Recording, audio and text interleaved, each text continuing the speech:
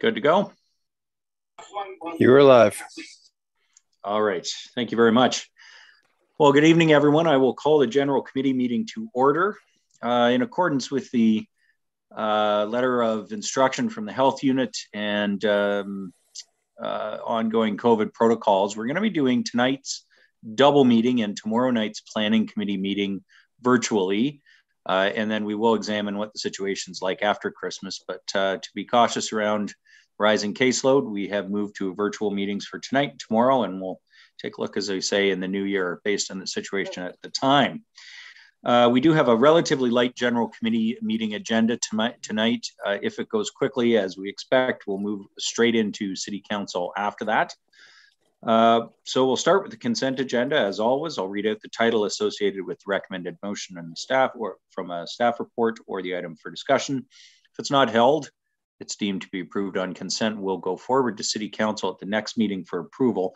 Now that is tonight uh, in order that these matters be ratified before the Christmas break. So importantly, for anyone watching, uh, I should note that if there's any concern around those uh, an item that's approved tonight, whether on consent or debated, uh, you would need to contact us right away about a deputation, and you can do that by emailing city clerks at barrie.ca. That's city clerks at barrie.ca, uh, to get on the list for a deputation at the council meeting.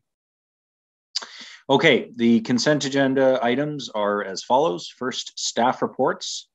We have an item uh, staff report regarding a grant application for skill for the Skills Development Fund supported by Georgian College. Does anyone wish to hold that?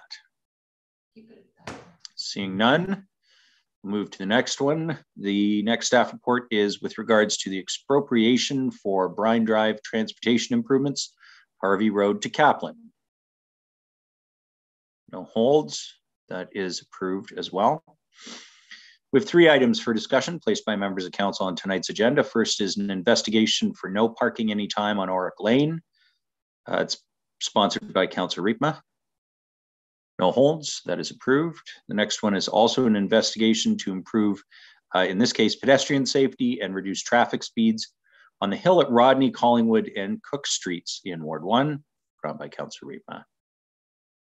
No holds, that is also approved. Finally, we have an item to invite the Institute for Catastrophic Loss Reduction to present, make a presentation to City Council in the new year, and that's put on by Councillor Natalie Harris. No holds on that. Is approved. As anticipated, uh, the items on tonight's agenda are relatively straightforward at this point, and have they have all gone on consent, uh, which means we do not have any items to be debated at General Committee tonight.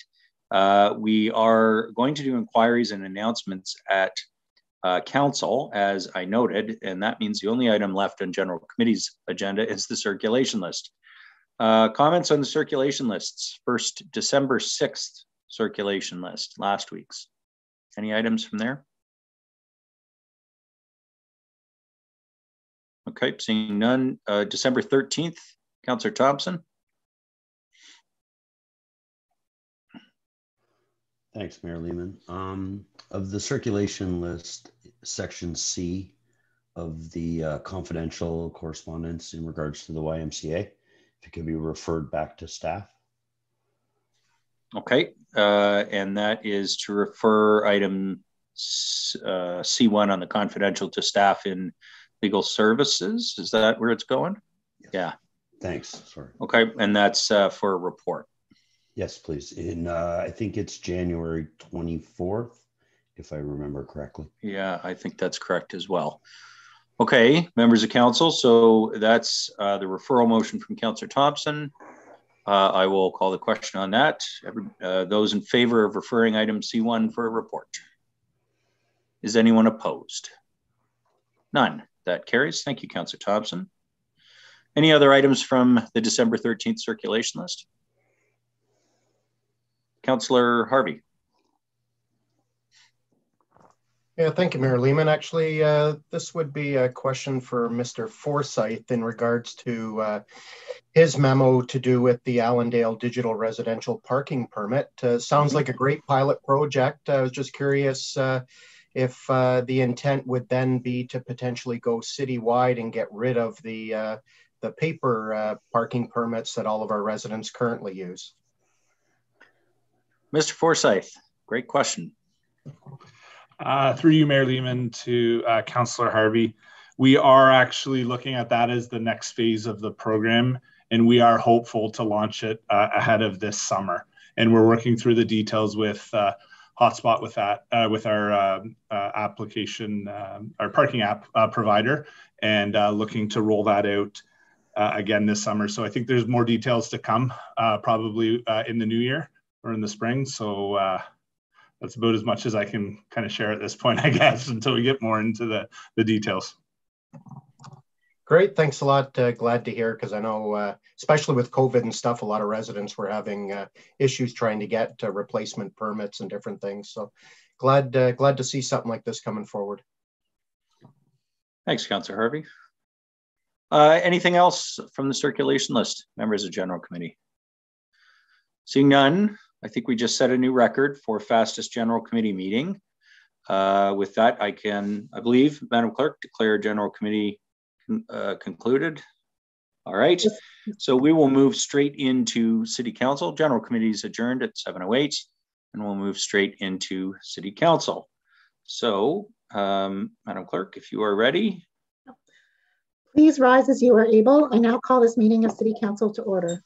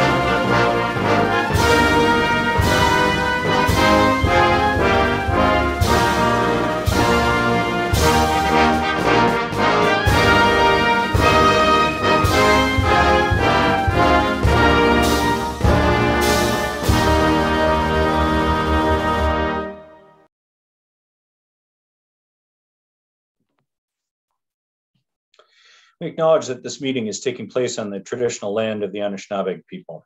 The Anishinaabeg include the Odawa, Ojibwe, and Potawatomi nations, collectively known as the Three Fires Confederacy. We're dedicated to honoring Indigenous history and culture and committed to moving forward in the spirit of reconciliation and respect with all First Nations, Métis, and Inuit people. You may be seated.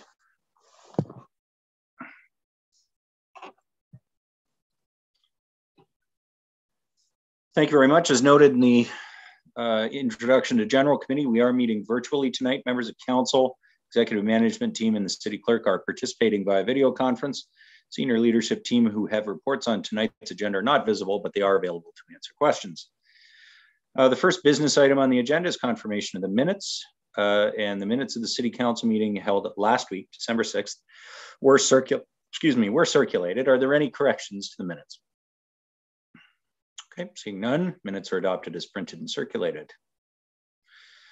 Um, we would like to tonight recognize the winner of the 2021 Mayor's Christmas Card Contest. And I, it's a, a real shame we can't do this in person, um, but uh, with the council chambers still closed even before tonight, we would not have been able to.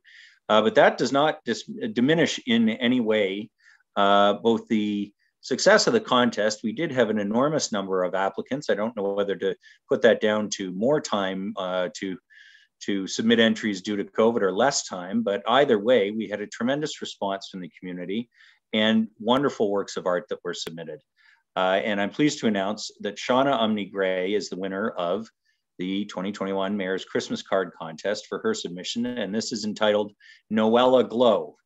Uh, so congratulations, uh, Ms. Umney Gray. Uh, this is a wonderful, wonderful piece. Um, and, uh, you know, I think uh, it, I like the fact that Noella made its way into the title, no doubt reflecting the location in Meridian Place where some of our Christmas festivities and the Noella Festival are happening. But um, thank you for sharing your talent with us and for the joy that uh, this image will bring to those who are receiving our city Christmas card this year. And there are thousands of these that do go out across the city and in fact across the country. Uh, so Ms. Umni Gray, you're on the call. Um, thank you for this. And uh, is there anything you wanted to tell us about your, your work?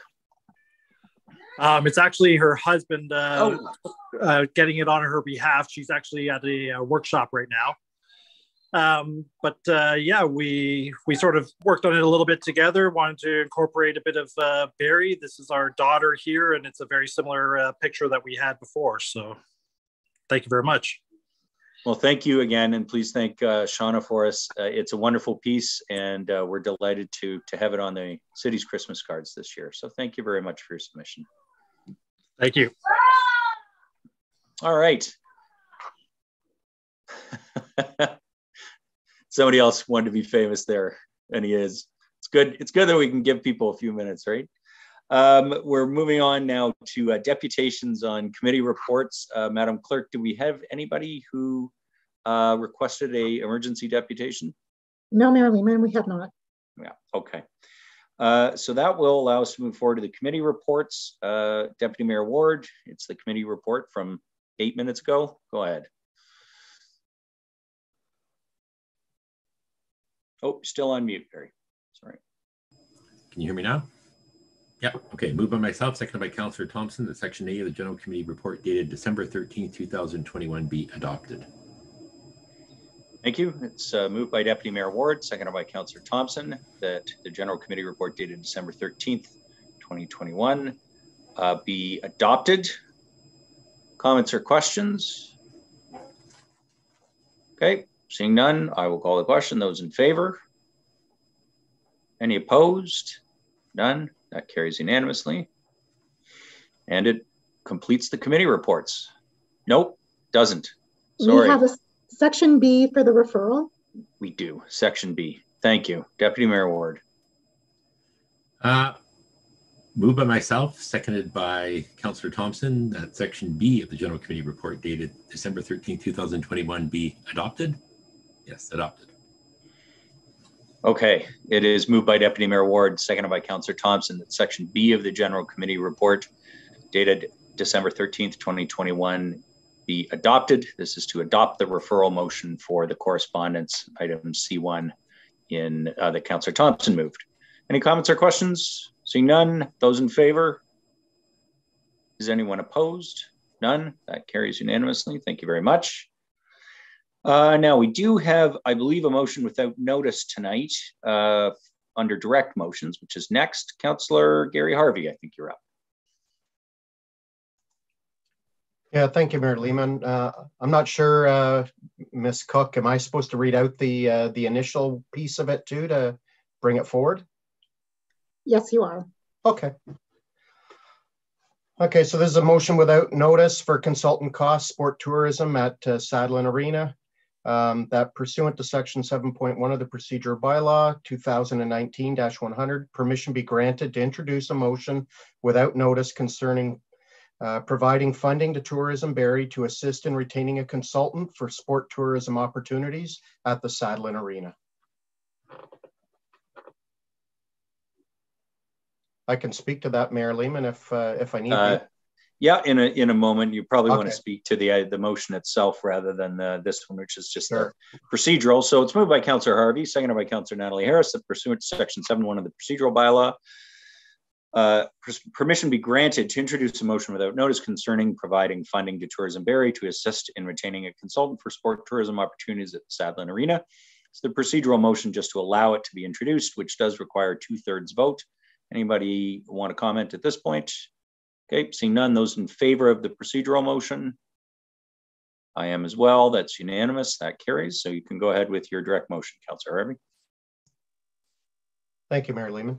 Uh, so moved by myself and seconded by Councillor uh, Natalie Harris um, that uh, $42,500 from the Municipal Accommodation Tax Reserve be provided to Tourism Barrie to assist with the costs in retaining a consultant to assess the needs and growth opportunities for sport tourism at the Sadlon Arena. Thank you very much. It is moved by Councillor Gary Harvey, seconded by Councillor Natalie Harris, that $42,500 from the Municipal Accommodation Tax Reserve be provided to Tourism Barrie to assist with the cost of retaining a consultant to assess the needs and growth opportunities for sport tourism at the Sadlon Arena. Go ahead, Councillor Harvey. Thank you, Mayor Lehman. Uh, this literally just missed the cutoff for uh, getting on the regular uh, general committee agenda. Um, because I uh, it just brought to my attention very late on Wednesday, and I wanted to have some conversation with staff in regards to this um, to make sure that uh, both sides were uh, of the same opinion uh, with moving forward with this. But this is in relation to Tourism Barrie uh, taking the lead in in looking at some growth opportunities uh, through sport tourism at the Sadlon Arena, which potentially could look at an expansion, um, but it's also going to be looking at other pieces. And uh, I know from uh, speaking with uh, Ms. Schlichter in regards to this from the city side of things, uh, this also ties in with the tourism master plan. Um, so I don't know if uh, Ms. Schlichter would like to add some more color to to this to provide members of of council a little little more color. Sure. Uh, Ms. Schlichter, tell us about this opportunity. Uh, thank you, Mayor Lehman, and through um, you to Councillor Harvey and members of council. Uh, back in May of uh, this year, there was some direction from council uh, in regards to the Sadlon Arena and a potential grant application. Staff at that time provided a memo uh, providing some overall uh, information about uh, the all of the events and scope and things that were happening with Sadlon. Uh, and at that time, Tourism Barrie had agreed to retain a consultant to assess what the added investment and infrastructure could attract from a sport tourism event perspective, looking at the associated economic, community, and business case benefits. Um, it was also thought at the time that a consultant's report could identify opportunities to refine the design, uh, and scope of the expansion that could better leverage sport tourism events to the Sadlon Arena. Um, at that time, uh, Tourism Barrie has completed a, a request for proposal uh, in those regards. They received two, uh, and the one that uh, they would like to proceed with is at a higher expense, um, which is the result of the request to council today. Thanks very much. Uh, Councillor Harvey, anything else you wanted to say on that? I guess the only other key piece that I would add is uh, the funds being uh, requested are uh, are from the MAT, which would have been uh, funds that have been accumulated through tourism itself.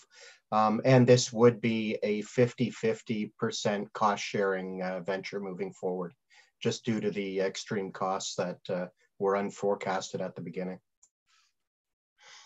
Okay, thanks for that. Um, reminder, we're at council, so you only speak once to each item. Uh, Councillor Jim Harris, you're up. Great, thank you, Mary Lehman. I just have a question of clarification. I just want to make sure I'm not missing something, and and maybe it's in the wording, and maybe I'm being too literal in my um, uh, understanding of what's what's written. But it, it uh, in the motion it talks about um, assess the needs and growth opportunities for sport tourism at the Sadlon Arena and I'm and I'm getting the understanding, and I just want to clarify, maybe it's through Ms. Schlichter that um, through you to Ms. Schlichter, uh, Mayor Lehman, that it's is it also about um, assessing the needs and growth of the Sadlon Arena, not just of sport tourism? Because it feels like the way it's written, it's about assessing needs and growth opportunities for sport tourism at the Sadlon Arena, which would assume as it sits. But is it also about um, assessing the Sadlon Arena itself for growth? Is if I can ask Ms. Schlichter through you um, to clarify that item. Sure, Ms. Schlichter. Uh, thank you, Councillor Harris, through you, Mayor Lehman. Um, the uh, there was a scope of work put out by Tourism Barrie that looked at um, what the proposed expansion, what, how the expansion, there was an expansion that was proposed. Uh, so it would look at the um, what potential expansion could further drive sport tourism to the uh, Sadlon Arena. Okay, thank you. So it it, it really is about um, uh, the needs and growth opportunities for the Sadlon Arena and the potential to, you know, increase um, opportunities for sport tourism, right? So that really is, if so, if I'm, so it is yes, I guess is the answer to my question. It is about potential to expand or grow the Sadlon Arena and, and by extension, the opportunities that would then be available with sport tourism? That is correct. Okay, thank you very much. Sorry, thank you, Mayor Lehman. That's my only question. Thank you. Thanks, Councillor Harris. Uh, did I see another member of council indicate? Councillor Morales. Thank you, Mayor Lehman. Uh, through, Ms., uh, through you to Ms. Schlichter. Um, is this motion on the floor right now um, uh, in accordance with that motion, I believe, Mr. Schlichter, and I'm probably getting the month wrong, might have been May, might have been June of this year, where council, I believe I brought forward, I forget the seconder, um, where council agreed that 50%, and someone correct me if I'm wrong, 50% of the MAT uh, staff, city staff look into to see uh, projects within the downtown perimeter on how they could possibly, that money be earmarked. Earmarked is not agreed to or committed. Uh, but is this motion, I'm assuming the amount is not that large. I'm assuming it would just come from the, the other 50, the tourism portion. And they just obviously, Councillor Harvey and Councillor Natalie Harris are bringing this forward uh, to save some time and, and get the ball rolling. Um, so I guess my question is, is this in alignment with that previously accepted motion and the, the money is coming from that 50% or does it, does it um, bump up um, that previously accepted uh, motion? Ms. Schlichter? Um, Thank you, Mayor Lehman. Uh, through you to Councillor Morales. Uh, this is really related to um, the memo related to Sadlon. Staff have not yet reported back on um, the uh, motion or the request around the downtown elements. Um, and I think in terms of the MAT, this would come out of the, what is being requested is out of the city's portion of what it is collected. Okay, so it wouldn't have it, it, the two motions can coexist. Is what is what I'm hearing. I would maybe defer to the the clerk on that one. Madam Clerk, I think the question is uh, there was a motion regarding the potential allocation of MAT funds uh, back in the spring, uh, and maybe it's a treasurer question. Is there enough money to give Tourism Barrie 42.5 from city funds and still fulfill those motions? Um, I would refer to the treasurer just to because he keeps care of the money. So that's all right. Was lateral to the clerk, clerk laterals to the treasurer. Uh, through you, Mayor Lehman. So if you're asking, is there enough money in the reserve to meet this motion uh, in addition to the other ones? So the, currently the MAT reserve has a balance of estimated balance of 474,000. So I would say yes, there's enough to cover this motion and the previous one. Okay, thanks very much. Councilor Morales. No, that's it. Touchdown. Thank you, Marilyn. Yeah, nicely run. Uh, I saw two other cards, I think, or hands, Councillor McCann and Councillor Kungl, if I'm not mistaken. Yeah, go ahead, Councillor McCann. Uh, thank you, Mayor Lehman. And uh, I guess maybe it's a question to uh, Councillor Harvey. Um, definitely support uh, bringing more tourism to Barrie and definitely through sport. And I'm just curious, uh, you know, what do you plan on attracting to the city? I'm, I'm just curious why you need to get a consultant to broaden that scope and maybe if you have a little more insight. Councillor Harvey. Thank you, Mayor Lehman. Um, really, when you think about over the last decade, we have not seen a lot of sport tourism coming to a city of our size. And we've lost out uh, to a lot of places like Thunder Bay and North Bay to some of these large scale, especially curling events. Curling is one of the fastest growing sports around right now. I know you might think it's pickleball, but in the winter, in the winter, I think I'd say it's curling right now. I've never curled in my life, but uh, when you when you look at the uh, the return on investment uh, with uh, tourism dollars coming in from curling events, uh, it's astounding right now. Um, so this is to uh, broaden our scope and be able to be a lot more competitive in trying to secure uh, these types of events moving forward, which will bring in significant dollars that are far north. Uh, most events are anywhere between six to almost 20 million on average, with some of them actually surpassing even the 20 million. You don't mind more further more questions, Mary Lehman? Yeah, go ahead. And uh, I didn't get to read your direct motion, but why just the Sadlon Center? Why not broaden it to the whole city of Barrie and all the other ice services and other rec centers that we have?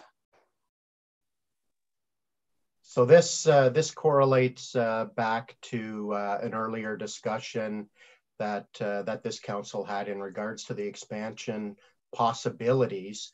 Um, but when you compare, when you look at our arenas across the board, these smaller arenas that we have, other than attracting minor hockey uh, tournaments, um, th they're not competitive with these larger scale provincial, national, and international events that a place like the Sadlon with uh, with a different scope to the arena uh, could attract and bring in significant dollars. Just to kind of put things into perspective, I've been told a, uh, a minor hockey tournament over a weekend brings in about a million dollars in economic development to uh, the Barrie area, whereas the economic development from being able to secure one of these provincial, national, international events is 10 to 20 times more than that. Yeah, I appreciate the extra insight. You definitely have uh, my support. Uh, but maybe just one last question I have for you. Um, and uh, other than curling, um, what else do you see attracting to the city of Barrie that that we haven't had before? And uh, maybe a part B to that question: Is this consultant connected in a way that is going to help us uh, attract and, and, actually gain um, the rights to these tournaments and and other styles? And last, and part C to that last question I have is uh, when is he going to? When is the um, consultant going to start, and when will the uh, when will the uh, report be finished? So the, the piece around this is uh, obviously zeroed in on the Sadlon Arena. Now, when it comes to their scope, that would very much depend. That right now the scope is very much on the Sadlon piece because of the nature of what we're dealing with. Um, I've been told this particular consultant has uh, quite a bit of experience in dealing with this exact situation in other municipalities. Um, and, and, at that point, they ended up recommending that there was some some changes made to their older facilities, um, so that way they could secure things like like we've never had a Memorial Cup. Mm-hmm. Um, we've we've hosted um, smaller scale curling events, but uh, we haven't done anything on a larger magnitude. Same thing with figure skating. Like I mean, our our building is is large enough. There's no reason why we can't host the, uh, a national championship um, out, out of that arena. It's just that the facilities that are available right now for the competitors mm-hmm. um, are definitely not up to standards for the OHL and these other uh, high level uh, uh, athletes. Um, so that's the, from my understanding, that would be what they hone in on. But again, it's a consultant. I think it's best that we give them general direction and let them look at what we have and then come back with their recommendations. Like I said, they've they, I've been told they've got experience on doing several of these, and they're currently in the midst of doing uh, two others for other uh, municipalities as we speak, apparently. And just the part C, uh, when, when, are they planning on starting? Obviously, once they get approval from City Council, and when will the uh, report be finished? Did you have any clarity on that? So that's why I brought it forward this evening, so that way it wouldn't delay things by another month.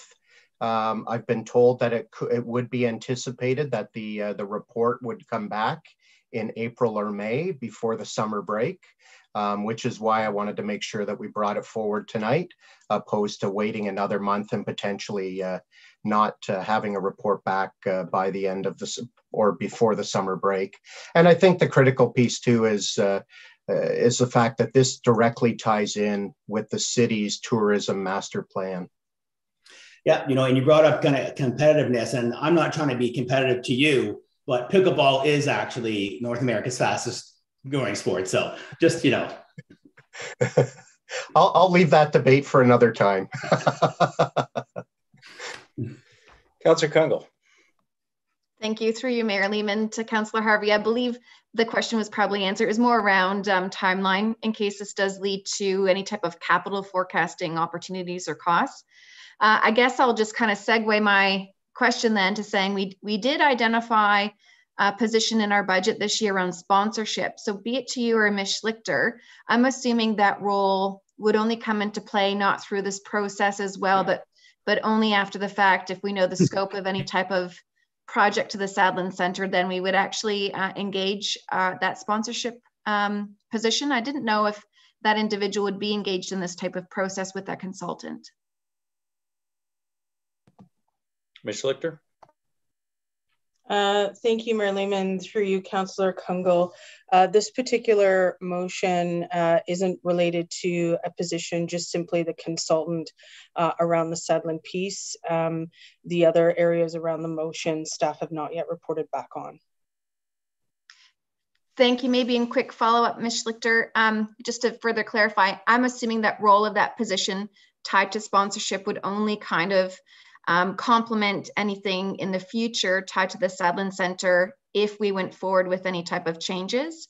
Or is there um, any role sponsorship would have within the process over the next year as we look to um, attract tourism opportunities to the Sadlon Center?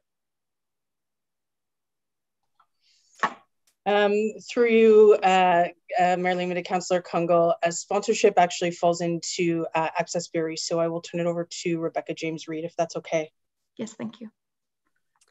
Thank you. Um, through you, Mayor Lehman, to Councillor Kungl.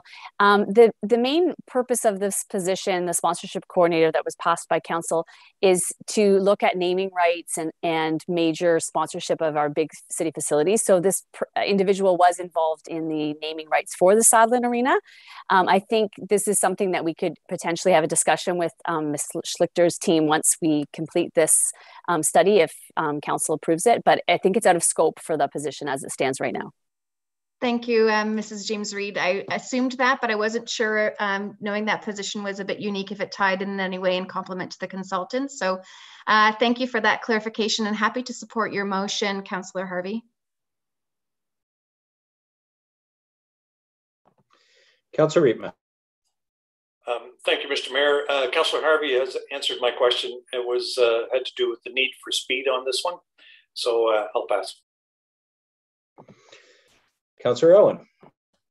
Thank you, Mayor Lehman. Uh, just a couple of quick questions, and I'm not sure if uh, Councillor Harvey or Ms. Schlichter can answer them, um, or who the best person is to answer them. But uh, I'm wondering what the rationale uh, is for going with the higher cost consultant. Like, what are we gaining from going with the consultant versus the other consultant, and what's the cost differential between uh, the two that we're looking at? Councillor Harvey and then Ms. Schlichter.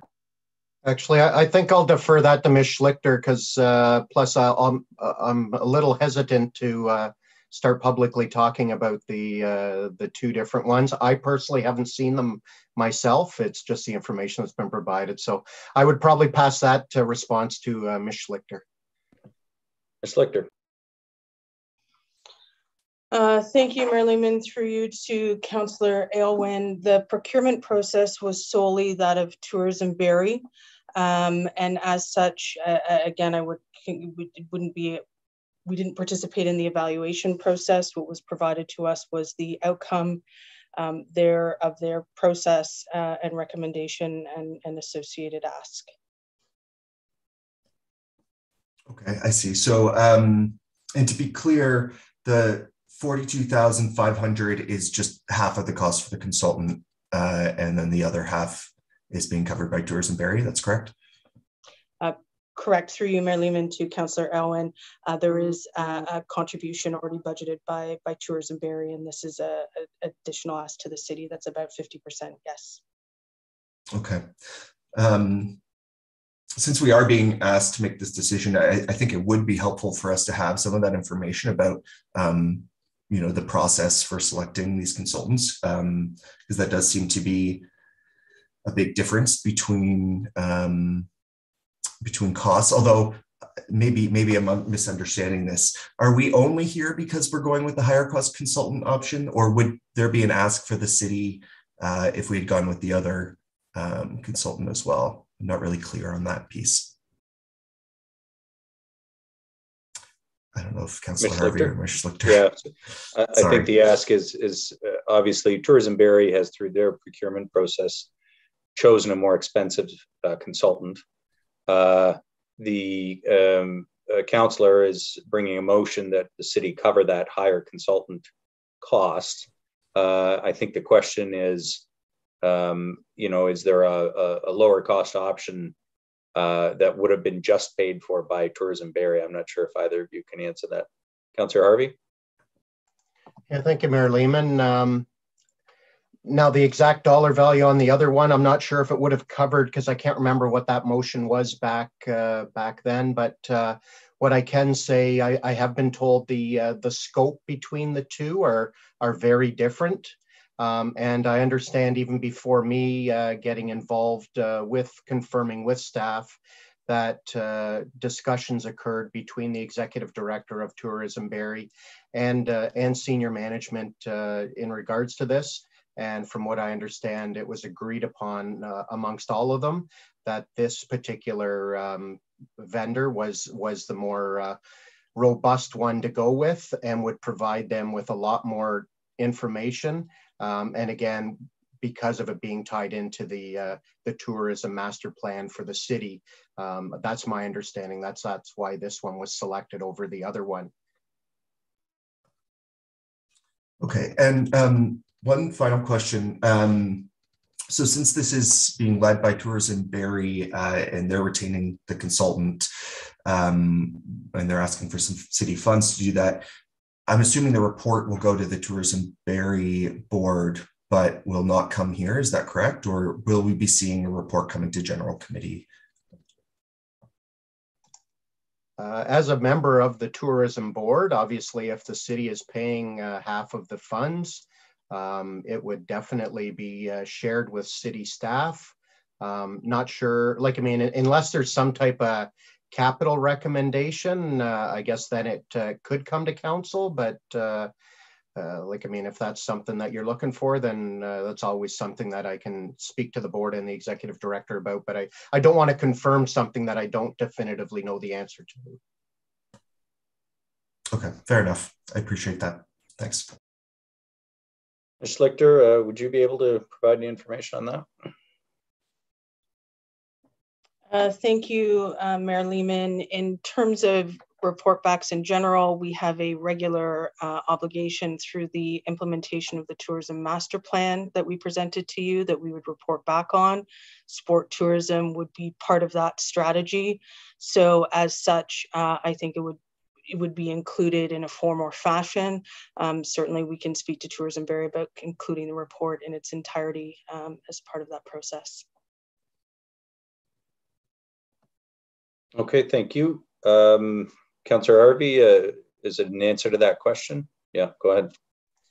Yeah, thank you, Mayor Lehman. Uh, yeah, no, I've just uh, received a, a, quick email from the executive director uh, of Tourism Barrie, and definitely the information will be shared with council. Okay. Are there other comments on the direct motion? Okay, seeing none, I'm just going to make a couple myself and then I'll call the question. Um, I have a couple of concerns with this. Um, choosing the more expensive consultant and then asking council to pay the bill. Uh, I would want more information before I was comfortable doing that. Um, because, you know, we just finished doing a budget where we cut much smaller items that benefit all our residents and to give that money to a consulting firm, uh, even though it's coming from a reserve and and maybe a very worthy initiative. Um, I you know I think sports tourism is an excellent opportunity. Um, I think we know there've been a some there's some interest in expanding uh, our capacity to host sport tourism, and so this might well be uh, something that we we want to support as a community. Um, but I have a I really have a, a a problem with giving another 45 grand to a consultant to tell us how to expand the BMC or what else we might be doing on this front. Um, I, I, think that there are some legitimate issues around uh, why have we not been successful with some other bids, uh, having put a lot of time and energy into those bids. Improving them might be very much uh, very worthwhile, but I haven't even seen the scope of work for this. Um, and given we uh, cut far less that had far more benefit, uh, out of the budget just last week. I'm not going to support adding that uh, spending today. So I'll call the question. Those in favor of the direct motion, please indicate. One, two, three, four, five, six opposed. One, two, three, four, and myself. That carries six to five. Okay, thank you, members of council. That uh, I believe completes the direct motions. I don't see any others. Uh, and we can now move to the presentation from the YMCA. Uh, just bear with me a, mo a, moment here. We can get uh, the presenters into the meeting in the meantime.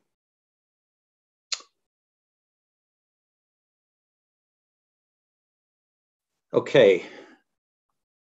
Uh, have we got Kristen with us? Yes, there she is. Okay, so uh, tonight's presentation, of course, is um, regarding the new YMCA in Barrie, building the center of uh, building a center of community in our downtown. Uh, I believe with us tonight are both Jill Tettmann, CEO, and there she is, of the uh, YMCA of Simcoe Muskoka. We have Lynn Strachan, board chair, and as well, Brian Tamblin, uh, campaign, capital campaign co-chair of the YMCA Simcoe Muskoka uh, to provide the presentation. I think Kristen's online as well for questions and to uh, give us the PowerPoint. So thank you all for being here tonight. And I will turn it over to you at the Y to make this exciting presentation. Go ahead. Okay, thank you very much. Can you see my screen?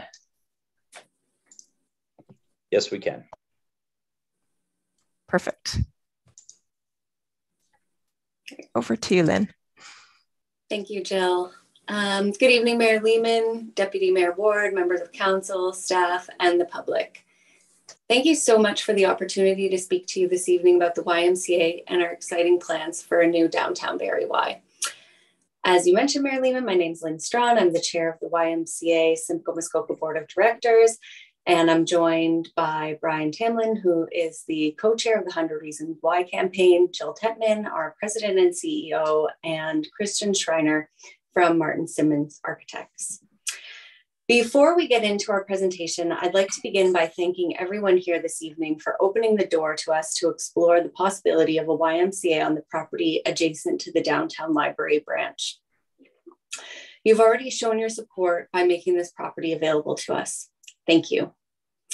As you can see by the image on the slide, we have been working hard to envision a new Barrie Y at this location. The YMCA of Simcoe Muskoka is committed to building a new kind of Y to serve the people in Barrie, which Jill and Brian will talk to in more detail throughout the presentation. With our partners, including Youth Haven, RVH, and others, we are building a community hub in the heart of our downtown where everyone can belong and everyone can thrive. Barrie's population is expected to exceed 200,000 by the year 2030. And I certainly don't have to tell this group about all of the growth that's happening in the downtown core. This is the why we need for the community that we want. And just for some background for you about the YMCA, the, the Y is one of the longest standing charities serving Barrie and the surrounding areas. And we are the largest provider of human services across Simcoe, Muskoka, and Parry Sound, and one of Simcoe County's largest employers with over a thousand employees, and specifically one of the largest employers of youth in the region, providing hundreds of teens and young adults with their first job. We provide a wide range of services to support our community, including camps, outdoor education and leadership development opportunities, employment supports and services, health, fitness, and aquatics programming, licensed childcare and before and after school care, immigrant services, and supports for youth at risk.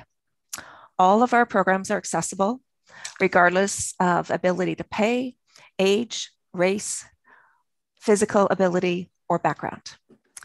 At the Y, we turn no one away and, in fact, provide financial assistance to one in 10 participants who are, able, who are unable to pay for these programs. Research has shown that being engaged with YMCA programs and services not only increases general health, but also mental health and life satisfaction. As we come out of the pandemic, hopefully soon, Uh, this holistic approach to wellness and connectivity will be even more important. We need to bring people together in a place that is inclusive and safe. In this way, the Y is very much in the business of upstream health measures that support both the Barrie Health Accord and the city's community safety and well-being plan. The programs and partnerships within the new Barrie Y are designed to address some of the most critical issues facing our community. Barrie's urban growth node currently has no licensed childcare spaces within it. According to our health unit, adults in our community suffer from higher than provincial average rates of cancer and heart disease. Youth in Central County experience lower levels of mental health than their peers across the province, and youth make up a disproportionate percentage of our homeless population.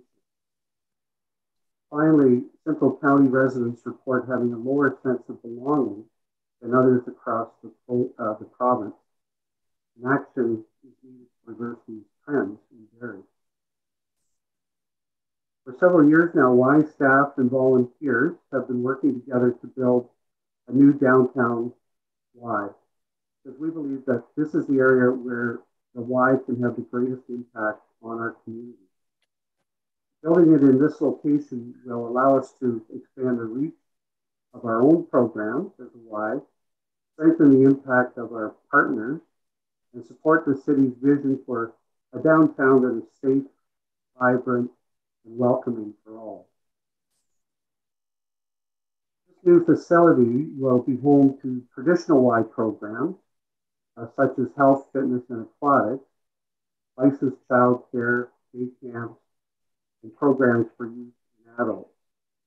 Um, and uh, adults include families as well. In addition, this building will provide space for the Y to offer new programs to support our community, often with programming partners. And I think this is one of the most exciting things about Y is committed to offering these programs where they are most needed. That means building downtown. Partnerships uh, are the key to this project. Uh, we'll have permanent space on site for RVH deliver cardiac and uh, cancer rehabilitation services, and for Youth Haven to provide transitional housing for youth. And that uh, currently doesn't formally exist in Central County. Y already has begun meeting with the public library to look for program synergies and opportunities to work together. Uh, we're going to build uh, a pond partnership with the MacLaren Art Center, Tax World, and there's a host of opportunities to develop partnerships with like Georgian College uh, and the city of Barrie. Um, finally, as, as Barrie continues uh, to grow and diversify, uh, there's an increasing need for public spaces for different communities to meet and celebrate their heritage. Wise public meeting spaces within this facility uh, could be ideal for this. And uh, the Y is very open to meeting with Ethnic Mosaic Alliance if this facility can meet their needs or at least complement their needs uh, for a cultural center.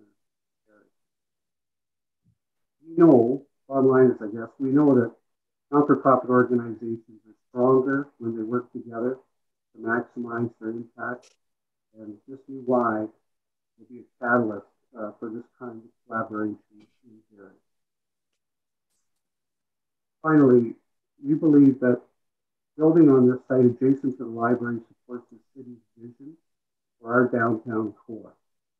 The new Y will create short-term employment opportunities for construction teams, as well as long-term permanent part-time and full-time jobs. The Y will bring increased foot traffic into the core to support small, small business. Why will, um, well, sorry, with intensification uh, increasing in the downtown core, it's going to be important to provide amenities to support this development, such as licensed childcare, public meeting spaces, health and wellness options, everything that this project is going to bring. All of these elements contribute to creating a safe, vibrant, and welcoming downtown. As you can see from the slide, this is a bit of a, a, roadmap of what we are envisioning. We're excited to report that after having completed a site fitting exercise on H block, the new Y facility uh, would include a three classroom licensed childcare center, transitional housing for youth operated in partnership with Youth Haven, permanent space for cardiac and cancer rehabilitation programs delivered in partnership with RVH, a health and wellness center, including a gym, conditioning space, an indoor track and studios, public meeting rooms, an indoor playground, a youth center that can be utilized by both the Y and other youth serving organizations, as well as seniors, two swimming pools, a combination of surface and below ground parking. More than all of this, the new Y will be ground zero for thousands more Y stories. We will create opportunities for people to come together and connect in a place that inspires wellness, connection, and fun. The faces of the individuals in this presentation are not stock photos. They're images of members of our community who have been impacted by the Y. Nathan was born premature, and his parents credit his development in many ways to YMCA childcare programs. Mo and Mildred were both new Canadians who credit YMCA Immigrant Services with helping them settle into our community. And Katarina was a youth facing unemployment and mental health barriers who credits the WISE employment supports with helping her find a meaningful career. The projected cost of this important investment into community infrastructure is estimated at $50 million. We have received significant commitment of over 20 mil, 29 million from the provincial government, along with 2.5 million from the County of Simcoe, as well as incredible community support through our 100 Reasons Why campaign. We have also sold our Grove Street properties to support this project. We are asking the City of Barrie to consider making a $2.5 million gift, matching the County of Simcoe's contribution, so that we can proceed with this significant social development initiative. As we said earlier, this is the why that we need for the Barrie we want. We believe the new YMCA supports Council's vision for the city, for downtown, and will meet the needs of our community as we continue to grow. I'd like to thank you for your support, for your consideration of our request and for your time this evening. We would be happy to answer any questions that you have at this time. Thank you again.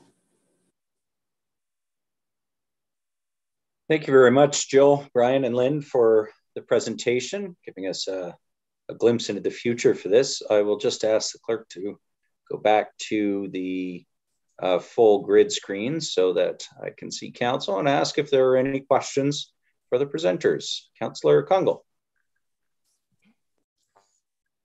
Thank you, Mayor Lehman. Uh, through you um, to the YMCA team. So lovely to see you and thank you for the presentation. I'll let you redirect, but I guess I'll um, assume to redirect it to um, this one's a bit financial in nature. So perhaps, um, Ms. Strachan, as you spoke to that slide, I'll start with you and let you um, pull in the rest of the team as you like. Uh, when I'm looking at that $5.6 million gap and your reference to asking the city for 2.5 million, um, I'm assuming that your gap with that assumption um, would be about $5.1 million. Can you uh, speak at all to strategies or plans um, around um, addressing the remaining potential gap of $5 million? You know, I'm noting in, in the slide presentation, the relationship to RVH from the cardiac and cancer programming. Uh, they have a strong, um, well, as you, um, you know, I think we all know they have a strong foundation and strong um, um capacity to generate um, donations. And I was wondering if you could speak to um, what kind of risk that poses or what kind of strategies you have in place to address that minimum $5 million. Strong. So thank you for the question, Councillor Kungl, and um, through you, Mayor Lehman, to the councillor. Uh, we have with us today our esteemed co-chair of the 100 Reasons Why campaign, Mr. Brian Tamblin, and he works very closely with Ms. Anna Cheney and they have done a fantastic job so far in raising funds from the community. We do have a plan to continue to raise funds from the community, and we also um, have an opportunity to borrow some funds if needed. So that's a short answer to your question. I'm not sure if Brian has something that he'd like to add from his vantage point as um, co-chair of the fundraising committee. Yeah, I, I would just say that um, I don't think we've had anybody say no to us yet. Um, and there are quite a few donors who, uh, of course, wanted, wanted to make sure that we got government funding and that the project uh, was a go. Um, with COVID and that, we really kind of just stopped. Um, and we, of course, this is a new site as well, so we had to redesign the building. Um, all that is just coming together. You're seeing uh, some of the first images uh, that anybody's seen of this new building. So um, I think we're very optimistic that uh, you know the, the, five or six million um, that is left. Uh, we're quite confident that uh, we'll be able to achieve that.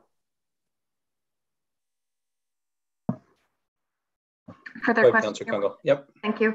Um, through you um, to the presenters, thank you for that response. And my next question is about capacity. Can you share anything in more detail about how the new um, Y in downtown Barrie is forecasted to either um, meet your past capacity um, around the facility on Grove Street and or add to that? And is there anything um, we should appreciate around um, if there's a greater capacity, you know, will you have greater opportunities for membership revenue or meeting increased demand? Uh, had you been waitlisting and would this new building actually facilitate meeting any type of unmet need?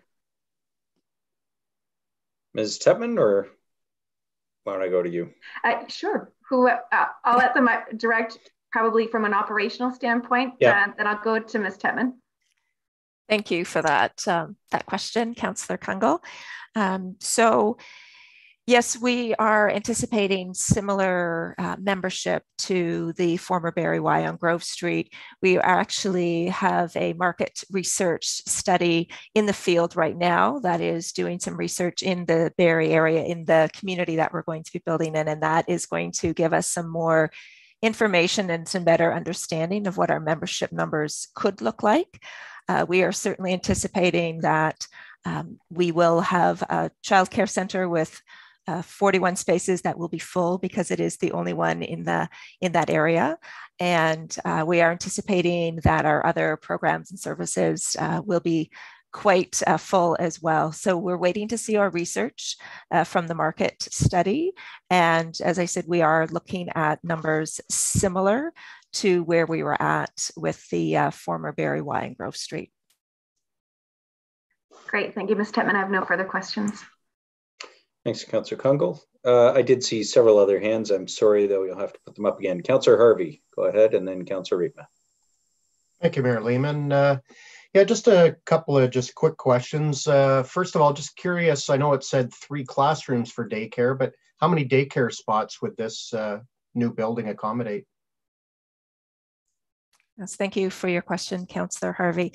So that's it's actually three classrooms. It'll be a an infant classroom, toddler classroom, and preschool classroom, and it will be 41 spaces for children. Okay, great. And then my other question is around the pools. Um, you spoke about two different pools. Uh, just curious what size of pools we're uh, talking about and whether or not one of them would, uh, by chance, happen to be Olympic sizes. That seems to be the uh, the, the, real uh, multi-million dollar question that always comes from the aquatic uh, world uh, here in Barrie because we don't have one. Thank you for that uh, question, Councillor Harvey. Um, I am a mom of uh, two competitive swimmers, so I would have said 10 years ago that uh, yes, absolutely, we need a 50, million, 50 meter pool. So the pool that we are speaking about in this location is a 25 meter pool and four lanes. And the second uh, pool that we speak of is more of a uh, therapeutic pool. So it'll be a pool for um, children and, and smaller children with swimming lessons, and certainly more from a therapeutic perspective. So similar to some of the other pools, if you're familiar with the Innisfil YMCA setup with a lane pool and then a smaller pool. Um, we do believe that uh, the the site itself would not uh, fit a 50 meter pool. Um, it's also uh, operationally not sustainable for us to, to operate a 50 meter pool, unfortunately. Yeah, great. Thank you. That seems to be uh, the, the big piece is the operational piece of it because you're dealing with double the water capacity and the maintenance is obviously double or more. Thanks a lot. Thanks. Uh, Councillor Thank you, Mr. Mayor. And um, yeah, it's a terrific project, and I think it's uh, in a great spot, and I think it uh, will help our downtown, and certainly it matches up very nicely with uh, the library next door to it as well. Um, I guess my question is, uh, I'm assuming, and uh, that your building design is is uh, very preliminary at this point. Um, I see some nods, and I, I guess my my thought is this. Um, when I look at the picture, um, I'm just concerned about how it addresses the two streets, uh, Clapperton and uh, Worsley. Um, it, it looks like it's a like there's not much going on um, to address the street and to make it sort of street friendly and inviting people in and that kind of thing. Um, it and I, I, may be looking at the um, uh, at it uh, at a very early stage yet, uh, but it seems like it's a it's a it's a pretty long wall um, without much um, activity going there. Am I right in that, or is uh, any comments on that? Because I'd really like to make sure that this building is a uh, very functional and b uh, really sort of draws the city into it because I think that's really what we're trying to accomplish with the Y in any event. Any any thoughts on that? Ms. Tettmann, and then maybe Ms. Strachan. I know you've been working on that too. Go ahead, Ms. Tettmann. Thank you, uh, Councillor Riepma. I, I wonder if this might be an opportunity to uh, ask our architect to maybe share some of the other uh, designs that face the uh, other streets because it's an, an unique uh, building in that it's it's more of a U-shaped building with a, a, center that you can't see the other sides of it right now, right? So um, maybe that would be an opportunity if, if, if Kristen would be interested in, in speaking to that and, and maybe showing what that might look like on the other streets. Sure, I can do that. Absolutely. Am I allowed to share my screen with you? Yeah. Okay. Uh, yes. So our yep. There we go. Yes, so these are the images you've seen um, from Worsley Street. And yes, you're correct that we have kind of just begun our design. We have spent a fair bit of time making sure that the programs that the Y needs can fit on the site and can lay out in a way that's functional and befitting of the site. Um, one thing that we are really trying to focus on with this design is the relationship to the park and kind of connecting to the existing library through that landscape design. Um, so along Worsley Street, we envision the pool here really being a point of activation for the street. So glimpses into the pool area, as well as kind of integrated signage, and then really pulling back the entry to create um, a nice covered entrance that's extending and gesturing towards Worsley Street. Um, and the other feature that we're really excited about is this kind of idea of a kind of threshold or indoor outdoor space that is kind of adjoining the Y with the park, um, which you can see here along this extended canopy. So on the other side, which would be um, off McDonald Street, we would have a second entry here for drop off and vehicular access.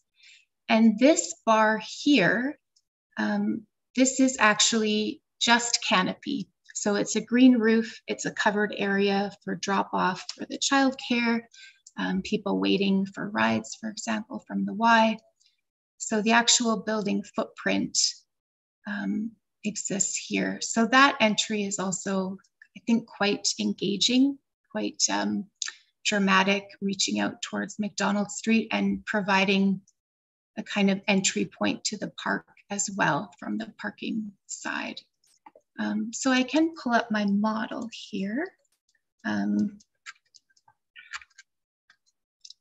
are you able to see the 3D on my screen? Yeah, that's great. Okay, great. So here's kind of what I was talking about with the pool, which will be along Worsley Street. Um, and, you know, I might just actually turn off the trees because I think it might help us navigate a little quicker. Um, but here you can see what I was speaking to about that kind of idea of there being a threshold space between the park and the Y. And here's where we would have the youth center, which has its own entrance for after hours, as well as the child care facility with outdoor play being kind of semi-sheltered and semi-exposed to the park, possibly sunken slightly. And then I'll just whip around and I'll show you the vehicle drop-off side I was starting to describe.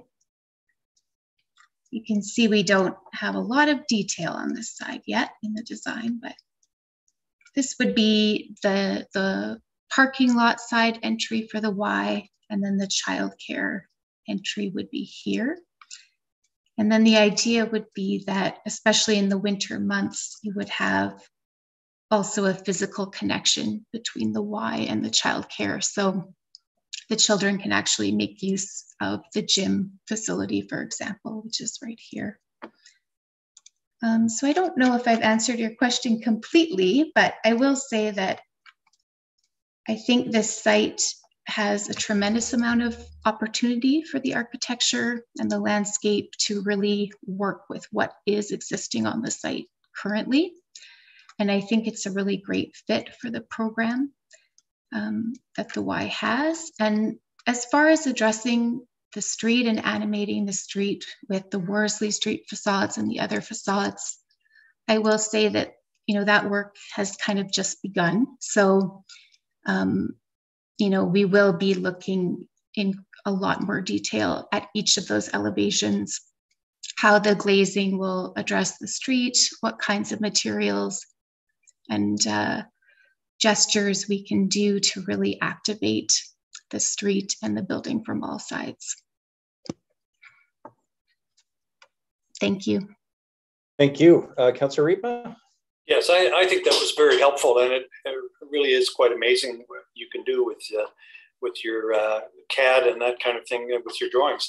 Um, I guess I would just encourage you to um, think about someone that's walking uh, along Clapperton and uh, along Worsley, and just how that building feels to feels to that person. Um, and um, yeah, I, I mean, I think you've you've got a great design going here. I, am just concerned about um, how it feels from from the sidewalk. Um, so if you could, I'm sure that you'll be able to address that due course. Thank you. Thanks. Thanks for your question. Thanks, Councillor Riepma. Uh, others who have questions. Uh, next, I have Councillor Morales and then Councillor Aylwin. Thank you, uh, Mayor Lehman, and thank you for all those questions. I'm gonna, I think I'm gonna, I was inspired by Councillor Riepma's question and, and, taking it to the next level because um, I, again, I, I, also appreciated seeing some of those architectural renderings, Ms. Uh, Ms. Schneider. Um, in terms of the building itself, so this is very valuable downtown land, like good location, right? We envision, we build not for yesterday's Barrie, but what's coming tomorrow.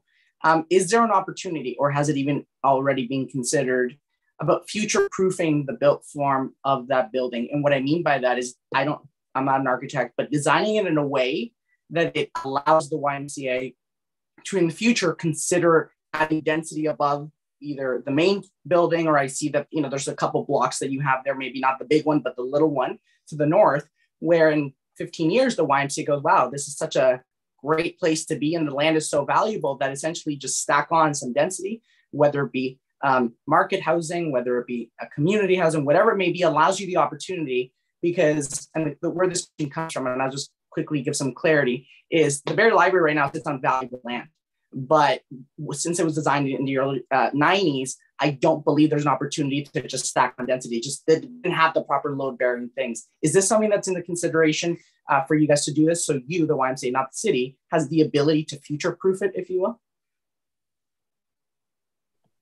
Thank you, Seven. Councillor Morales, for that question. I will turn to to uh, Kristen to answer that question. Sure. Yes. Thank you. I think um, we have had discussions about that exact idea, um, possibly going out um, in case we need more density in the future. And there are definitely ways that we can design the structure with that in mind. Um, we would definitely be using some steel in this project already, but um, that's something that we would get into as we are engaging our structural consultants so much further down the road. But I would say that the, the roof lines of the building that we're working with are quite friendly to that as a concept. And I would also say that we have um, the hopes of having that parcel D as well as C, which gives us a little bit more room as well to grow if we were to need. And as you may have seen on the McDonald's side, we have that kind of extended canopy right now that is offering a kind of covered drop off and some outdoor program area, but that could potentially be built area as well in the future. Correct. Thank you. Um, and yeah, it's as you said, it's not so much for the now; it's future proofing it for the later, right? I look at the Grove building, I believe from the 60s, 70s. I have the decade wrong no point in going back 40 years and saying what could have been done. Um, but you know, if we have the opportunity, and again, maybe you guys come back and say, Sergio, it's an extra five million dollars. It'd be prohibitive. It's not going to work. Great. At least we have an answer. Um, but if it could be worked out, you know, we would hate to be in a situation, whoever's in these roles in 20, 30 years going, wow, downtown Barrie is the hot place to be. There's density. The land is so valuable, but we have to tear down this building that is not at the end of life cycle, or we have no choice. So it's one of those preventive measures. You understood what I meant. So I appreciate that. I've got a couple more follow ups. Um, so uh, I love the breakdown. Um, and I believe Ms. Tevin, I believe you might have been the one talking this, the slide where you said this is the youth center, kind of like you had a bit of a floor plan. Here's this, here's that, here's the RVH component.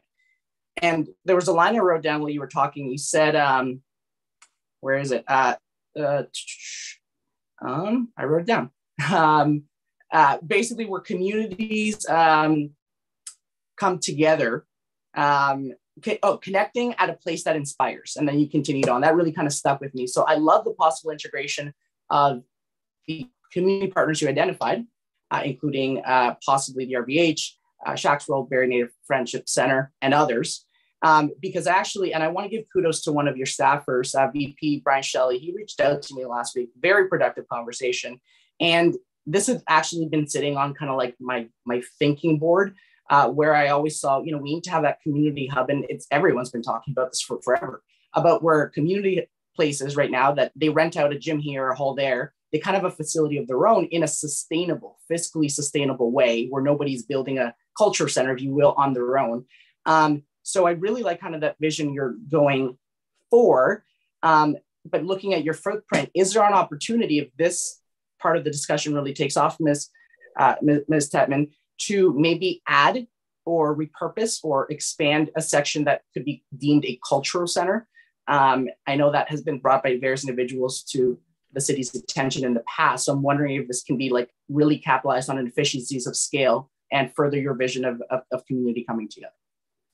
Ms. Chapman. Yes, thank you for that uh, question, Councilor Morales.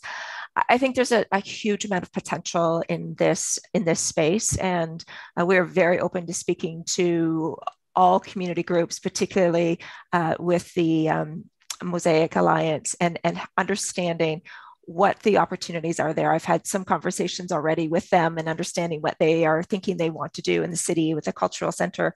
Um, our space, our spaces, as as Kristen um, provided, are open to expansion. They're open to moving a little bit out into some of the green space. We can uh, change some of the square footage pieces around a little bit. Uh, nothing is really set in stone right now. We have made sure that all of our programs and services that we have envisioned for this new Y fit in this new space. And we are very open to having conversations with anybody who wants to partner with us. Um, really do believe that this new Y is, is going to be all about partnerships.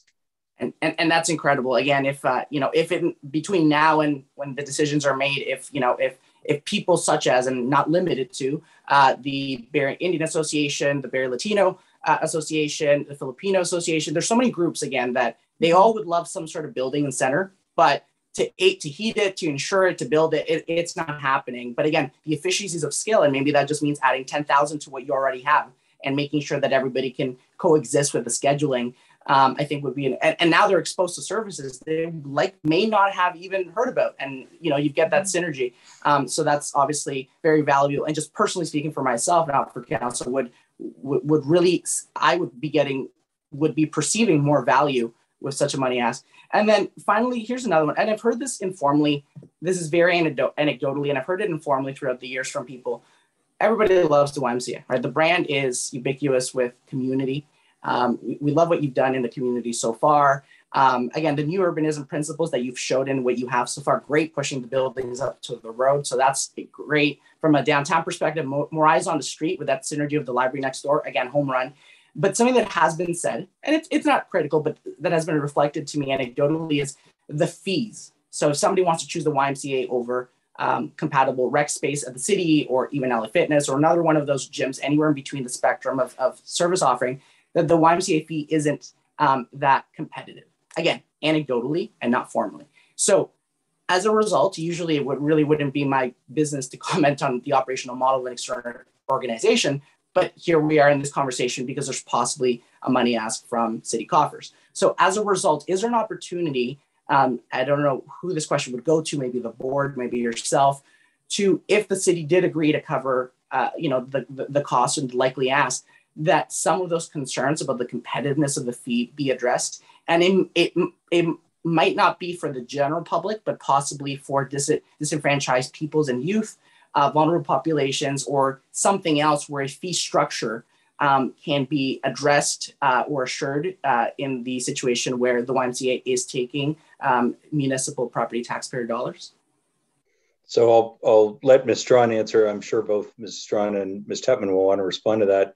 But of course, that is one of the strengths of the Y is that uh, they don't refuse people. They actually support just exactly those groups you just talked about because they don't have a fee structure uh, that is uh, fixed in that way. Uh, Ms. Strachan, did you want to describe some of that? Or, yeah. Ms. Devon? thank you, Mayor Lehman. You're exactly right. The YMCA is open to all people, regardless of their financial situation. We support people at various income levels based on what they can afford to pay. There's people who participate at YMCA and YMCA programs that pay nothing. There's people that might pay $5 or $10. Um, we'd never turn anyone away. And one of the great parts about being a member of the Y is that if you are paying a full membership price to be part of the YMCA, through the, your membership dollars, you're actually supporting um, others in participating in programs. And many of those people are children and youth and families, people participating in swimming lessons, uh, youth basketball, young leaders programs. So we're really proud of that work and um, how we're able to respond to community need. It's one of the reasons why I love the YMCA. Um, but I'll turn it over to Ms. Tettmann. She, she, might just have some more statistics to back that up. I, I just kind of have the passion piece around it.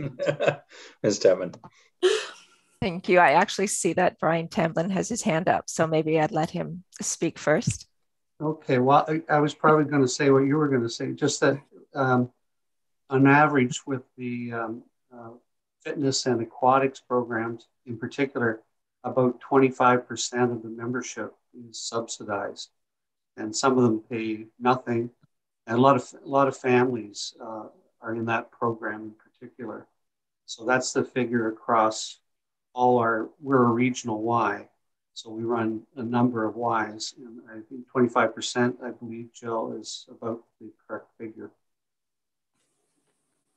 Perfect, thank you. And I, again, I appreciate that answer. I just educated myself, and even while we were talking, got I got information that um, you know it needs to be acknowledged. Since I brought up the question, I just won't leave the loose end. You guys are competing with multinational franchise corporations in the gym industry, and you're competing against a municipality that subsidizes their own programs. So vis-a-vis, not identical. So I'll say that since the again I'm being educated, I'm getting this feedback as well. And and Mr. Tamblin, you saying that statistic is a number that is incredible, uh, that is worth noting. And obviously in the future campaign, again, anecdotally, when people have those comments, I personally now know the answer and can point them in a better direction. But great to hear that you guys are doing this. Um, again, um, again, a, a, place where community comes together. You know, we have the sandbox for our entrepreneurs and small businesses. Uh, this future YMCA site might be that kind of place uh, but for community and fitness and, and culture initiatives and, and, and other supports. So thank you for your presentation. Thank you again for, again, kudos again to Mr. Shelley for reaching out nice and early. So I had pre-written questions and and and and, and uh, coming from a, a supportive uh, perspective, and I look forward to see where the discussion goes. Other members of council with questions on the presentation. Councillor Jim Harris and then Councillor Aylwin. Great. Thank you, Mayor Lehman, and thank you to the uh, Y representatives here tonight. Um, one of the items, uh, the features of this uh, project that interests me a great deal is the partnership with Youth Haven and the youth traditional housing. Um, so disappointed that it wasn't spoken in more detail in the presentation, very cursory in the um, design discussion. I wonder if you, if you, I don't know who the question would be to, maybe it's to Ms. Tettmann if you give me a bit more detail about the size of that program, those of us in Barrie who understand the work that Youth Haven have done uh, recognize that they've done a lot with very little for a long time. And we've seen other communities who started much later in the business of youth traditional housing pass us, Collingwood, for example, um, with the Weider residents. So I'm wondering um, if you give us a bit more detail about the number of units and a bit more detail about the operation of the youth traditional housing that's associated with this project. Thank you for that question, Councillor Jim Harris. I uh, would be very happy to speak about our Youth Haven partnership. We are still in sort of some design phases, and we have been speaking with Youth Haven about their specific design. But what we are imagining right now is a two story building. Um, it would have 14 units. Each would be a separate unit, like a dorm style room. So each youth would have their own room to themselves, which would have um, uh, some facilities in like a, a, toilet and a sink, but not shower. And shower would be uh, there'd be shower uh, built stalls sort of built in every second or every third sort of room in the house. There'd be a communal kitchen, and there'd be communal lounge spaces. Um, the part of the transitional housing is that the requirement to be in a transitional housing uh, unit for youth is that you are either uh, employed or are in school full time but you do not have housing or cannot afford housing and you need some extra assistance in some of the social skills to support you in, in getting out and, and finding housing on your own and, and living on your own. So it really is a it's a step up obviously from, from an emergency shelter perspective, uh, but it does give those youth that are seeking uh, somewhere to live that are really on their way, but just need a little bit of extra help and support. And they can be in the, the uh, supportive housing unit for up to four years minus a day is my understanding. Okay, thank you. And will it replace or augment Youth Haven current uh, programming and home? So it will replace Morton House, which is currently the where the transitional housing is. Uh, they will still continue to have the emergency youth shelter. Okay, great. So they will have the got gotcha. Um, that's wonderful. Thank you. Um, curious why 14? Is that just a number based on need or size, or how, how did you get to 14? That's a great question. uh, I will look to either a, a, question for Ms. Schreiner. Maybe, or um, uh, I, I don't have the background. Sorry, I can help to Ms. answer. Strong, go ahead. Yep. yeah. so the number of, of, between 14 and 16 was what we've been planning on um, since we started talking about the partnership. And really, that's based on the ability to sustainably operate the facility. So um, it will be, as we said, in partnership with Youth Haven and also an ongoing partnership with the County of Simcoe as the main funder for transitional housing operationally, obviously with the support of the City of Barrie. And um, that's where we developed that number. And I just wanted to add one other thing about this partnership, which I think is really great. And that is the YMCA uh, and our programs in youth leadership and youth employment, which will directly benefit the young people who are uh, using the transitional housing, as well as the partnerships we have with the school board, offering uh, unique ways to gain high school credits in conjunction with them. And we are also the largest youth employer in Simcoe County. And so that's a great opportunity for those young people to get part time work while they're um, staying at the transitional housing. Great, thanks. Yeah, yeah. The, the answer is just going to reaffirm that part of the project being very interesting to me, and I think a, an important addition to the community. Um, just wondering, with that noted in the um, the slide that has the breakdown of the current financial commitments, is any of that um, related to funds that uh, go towards providing housing? So that those um, units that will be traditional housing is a 20 point not uh, any of those dollars uh, related to that, or is there still funding opportunities that could be added um, that uh, connect to um, funding for ho housing, homelessness, and those kind of things? Maybe that's for Ms. Tettmann, I think. Sure, Ms. Tettmann. Thank you for that question, Councillor Jim Harris. We are um, continue to explore other partnership um, opportunities. There, there may be uh, further funding opportunities for housing for sure, and uh, we are continuing to explore that. Um, as Lynn had commented, the this the county of Simcoe has provided in their contribution for support to the transitional housing as well as the childcare. But we do believe that uh, we will continue to look and, and potentially with uh, if we can get an agreement signed with between the federal and provincial government around childcare, that there may be some additional funding for childcare as well. Okay, great. Thank you. That maybe leads to my final question. It looks like if my math is correct, you're at about um, currently about 85% of the funding is is uh, uh, in hand, and with the city that would bump you to if the 2.5 was granted would be 90%. Is the goal to be 100%? Is that, I mean, I, maybe that's an obvious question, but um, you know, knowing that you've got some potential other opportunities for funding, whether it be the housing piece, the, the um, daycare piece, um, you know, and I guess there's some fundraising happening, obviously, with the, the um, 100 Reasons of Why campaign. Um, is that the goal, is to get to 100? And if you didn't, what would be the what, what is your kind of uh, ideal place to end? I will actually ask our co-chair for our capital campaign to answer that question. Mr. Tampa. Yeah, it, yeah, the numbers are a little complicated. It's not quite 2.5 doesn't quite drop off the total, but I think we'll be down to, yeah, we'll be around uh, about 6 million or so we need to raise. And, um, you know, I, I, mentioned that we hadn't been turned down by anybody, but we hadn't even gone public. Uh, we, we've raised this just in the quiet phase. And there's lots of people we haven't talked to even in the quiet phase. So I think we're, we're very confident we can do it. But um, if, you know, and the building, you know, how building costs have gone up too, right? So we're saying 50 million. Who knows? Could be 55 million.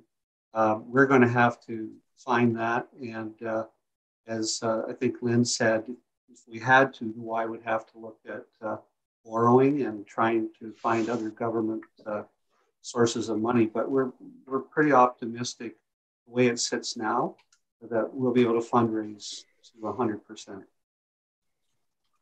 Wonderful, thank you. Maybe one final question. I, I, was surprised the scale would be similar as far as memberships and uh, such to the previous Y, which I was a member, both junior member way back in the day and, uh, and adult member uh, uh, a little bit later. Um, just curious as far as the employment, are we basically then looking at a similar employment number uh, in the new um, uh, plan versus the, the uh, previous plan? Yes, thank you.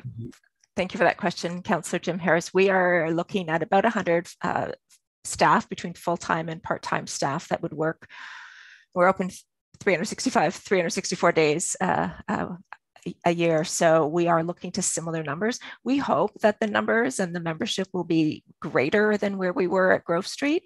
Uh, but we also are looking at uh, behavior and what's happening uh, through the pandemic and where people will end up after the pandemic and how they'll want to re- react again and come out to um, out to facilities again. So we are being optimistic, I believe, in actually looking at the numbers from the uh, former Grove Street site as a, as a starting point for our membership. Great. Thank you to the members for answering my questions. I greatly appreciate uh, your time and consideration. Thank you. That's all. Mr. Tamblin, did you have something to add on that? Yeah, just on just on point. I think uh, the, the Barrie Wise had a long history here, and it and you've been there a, a long time, Councillor Harris, or you were, and uh, you know it was it was around six thousand members, and this one's built for between six to seven thousand I think the Innisfil Y right now, Jill, is at about 7,000 members. So, and, and we see, we talk about the downtown, um, but of course, I think it will also serve the East End of Barrie quite well. And there's no rec center in the East End of Barrie. So we're expecting a pretty good portion of the membership to come from the East End as well. Great, thank you. I take no offense to the long time comment. hey, I, am in the same boat. Same I got boat. that. thank you. What does that 1953 membership card look like? uh, Councillor uh, Aylwin, well, you said junior member. Uh, Councillor Aylwin and then Councillor McCann. Thank you. Thank you, Mayor Lehman. Yeah. And uh, on the other side of things, I, I, was doing swimming lessons there just a couple of years ago. So, oh, yeah. um, thank you so much for the presentation. Um, you know, as a downtown resident and the downtown councillor, I'm really excited to welcome the YMCA to this strategic uh, site. I think there's a lot of really great opportunities. And uh, as a member of the Barrie Public Library Board, I'm really pumped about the cross programming opportunities that are available to us. Um, and just a little note too, we were talking about uh, the Worsley Street entrance to the Y and, uh, you know, that interaction with the streetscape. Um, in the Barrie Public Library's uh, master facilities plan, there was actually a proposal to have uh, the entrance on that southwest corner of the library be open to the public. Um, but that's something that's never uh, come to fruition. So I see a great opportunity there to open up uh, that side of the library and have those buildings facing each other and make easy access for people attending the Y and the library. Uh, no questions for now. I just wanted to say thank you so much for the work that you do uh, and that I'm excited. Thanks. Thanks, Councillor Owen. Councillor McCann. Uh, thank you, Mayor Lehman. And uh, I guess what keeps on popping off my head is, wow, a picture really does say a thousand words. And I never really was getting overly excited about this project until I saw the renderings and especially the 3D renderings. Um, you know, connected a lot of dots for me, and uh, quite frankly, got me pretty excited about this project. Uh, but I do have some questions uh, for you, and maybe maybe I'll just um, get some clarification. You're presenting right now, obviously, and you're, you're asking for $2.5 million. Uh, and then the staff's going to have a report back in January. But this is the, this is the, really the only time that we're going to be able to interact about design. Is that correct? Uh, I'll, I'll, put that through to uh, Ms. Tettmann, but no, I'm sure there's going to be more opportunities. Uh, Ms. Tettmann. Yes, thank you for your question, uh, Councillor McCann. There will be lots more opportunities. We are very early in our design stages, and we anticipate that as we move into the new year, we'll have lots of opportunity for broader engagement on the design and the programs and services and, and what we can do on the site. So I'm really excited about the synergies and opportunities with all of the different partners in the downtown core, particularly beside the library.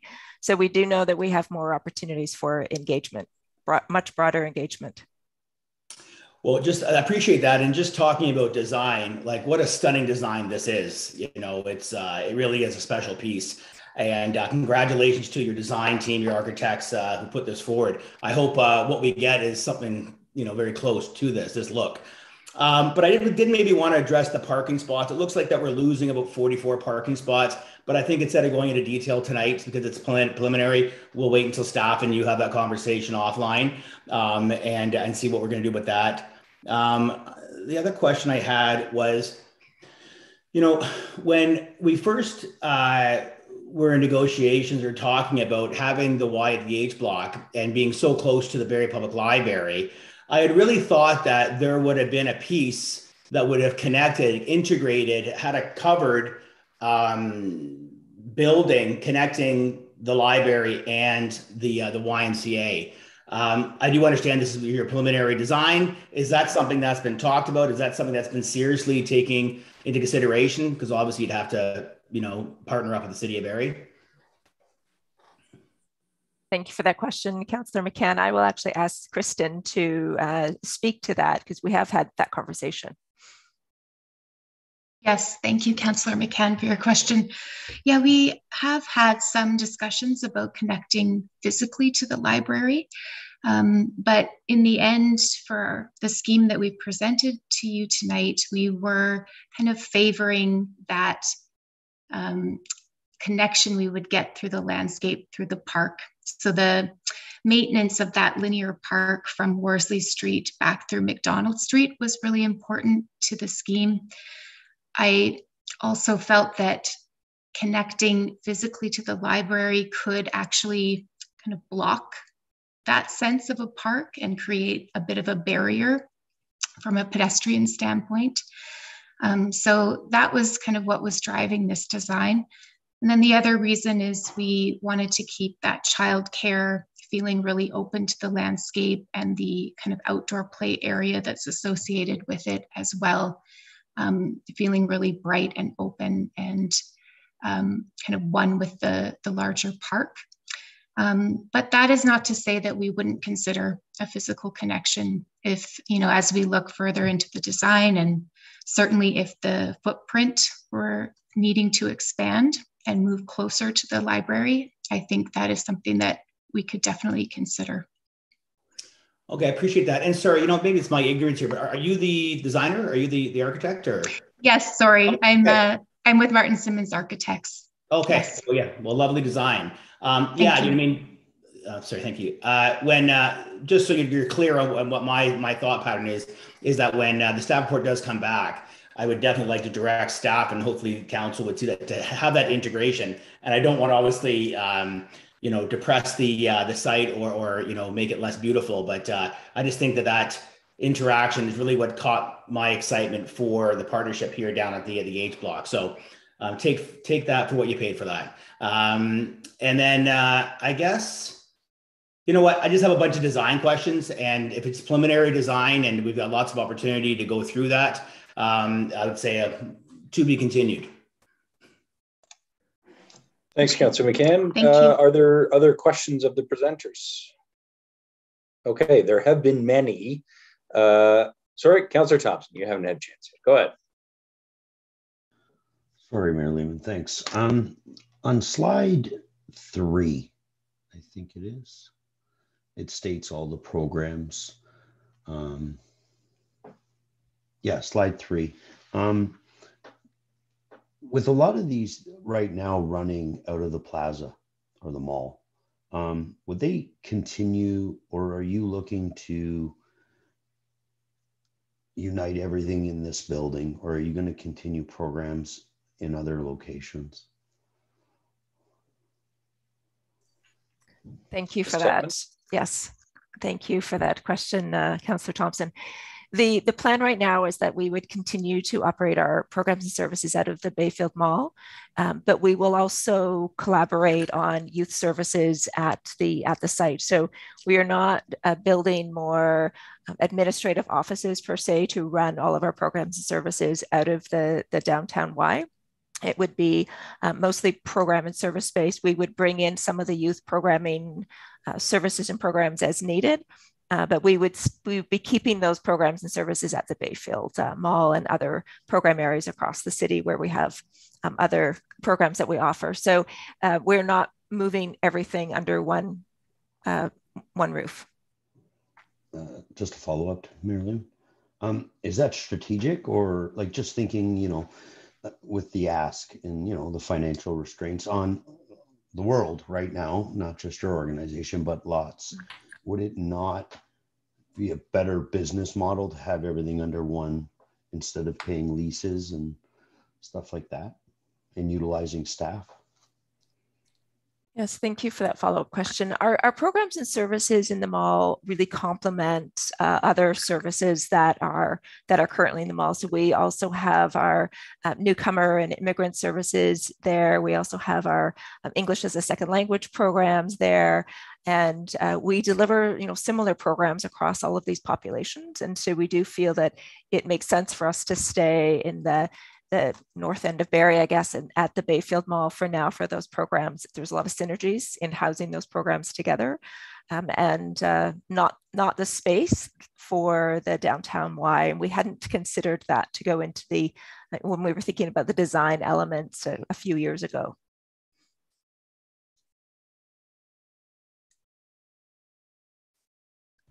Perfect, thanks. Um, I will say it's exciting and uh, it's a great um, building. Um, I'm a little bit nervous about the ask. I'll be honest. Um, it's uh, we just went through the budget, and uh, you know, and you know, I'm a believer that you know, 2.5 coming from the county. Um, I'm not aware of a reserve of the county that doesn't, you know, incorporate Barrie's money already.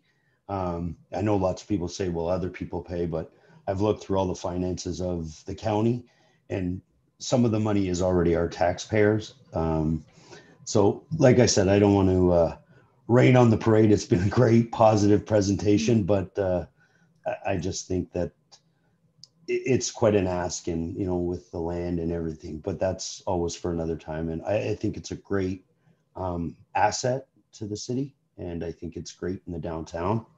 But uh, I, do have some challenges with the asking, I'll be honest.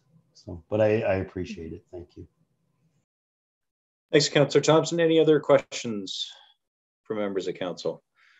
Okay, many have been asked, and uh, I, have got a few others, but I'll send them by email. I think I just wanted tonight to to thank you, uh, first of all, for answering all of these questions from council. I think some thoughtful. I think you can tell by the questions some really thought uh, thoughtful questions interested in both design issues but also the service provision and um, you know when the opportunity arose because uh, of the developer not moving forward uh, on Bradford with your site um, for the, the the potential to consider the H block I mean this just makes so much sense and the more you did your presentation tonight the more I came to see the synergies with the library right next door how our downtown's going to have two great public buildings of, of kind of similar scale and similar uh, orientation.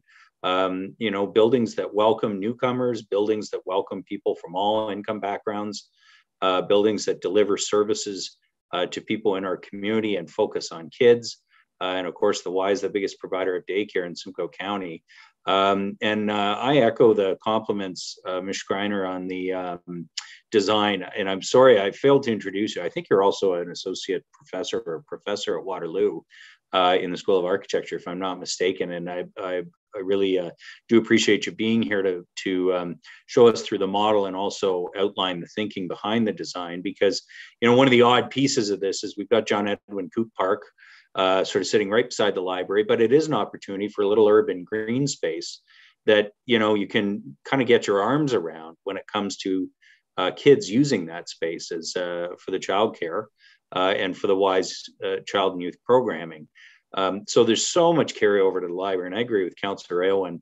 If there's ever been a moment to consider a, a door at the west end of the uh, lobby of the library, somewhere around our community room uh, or the office area, so that there's an, another pedestrian connection in, that's a great great thing for us to think about after tonight. But all in all, uh, thank you so much for answering all the questions, for giving us uh, a view of the project, and my compliments as well to Brian uh, for your work and your leadership on the capital campaign, and to Lynn for your leadership uh, at the board level. And Joe, I know this has been two of the most difficult years for any nonprofit. I know it was extremely difficult to pivot with the shutdown of so many facilities uh, and still try and uh, you guys were the only organization that put your hand up for childcare when the ask went out for first responders. And we really appreciate that uh, and all of the work you did during COVID to keep the organization, uh, you know, alive and moving forward. And now to be back with us uh, with this project in this condition is testament to all three of to what all three of you have done over the last two years. So thank you for that.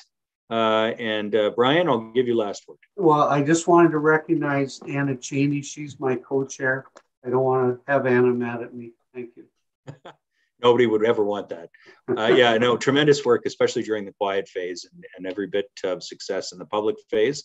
Uh, and council will be discussing this matter. It looks like in uh, the third week of January. Uh, but thank you so much tonight for being here. And with that, I think we'll move on with our remaining agenda for City Council. Thank you.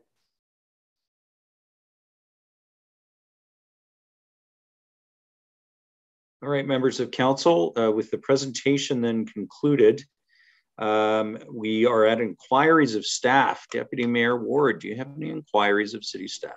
I have none. Members of council, Councillor Kungl. Thank you, Mayor Lehman. Um, through you, maybe um, this fits Ms. Schlichter. I've got a question about business statuses. So while I've seen some great social media by Deputy Mayor Barry Ward around opening um, restaurants and businesses. Um, I've also seen some close. I can think of two in particular in Ward 3 where I've seen businesses close. And I was wondering do we have um, any statistics or do we have any um, information that identifies when a business moves out of the city or closes for a particular reason?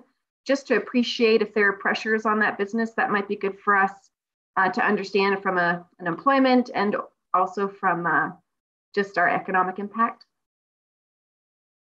Ms. Schlichter. Uh, thank you, Mayor Lehman, through you to Councillor Kungl. There isn't a formal uh, registration or notification process that's required when a business chooses to close. Uh, we did undertake this year a um, business data survey uh, for the very first time, which was really that door to door looking at all of the commercial spaces, validating who is there. We're just in process of validating how we put that some of that forward in, in the public fashion. So uh, I would say once we start doing the intent is that that would be a year over year exercise. That will give us, I think, a far greater sense of where some of those transitions are um, certainly through our small business center when we hear of a business or when we have conversation with business, but there isn't really a formal tracking mechanism or notification. So uh, a lot of it is collected uh, anecdotally, but again, through this data survey, we're hoping as we get through some of that year over year, that we'll have a better sense of what the, those transitions look like.